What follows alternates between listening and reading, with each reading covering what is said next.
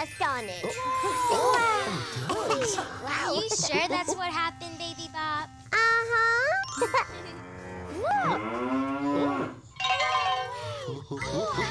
See? Thanks for the ride, Moo Moo. Bye-bye.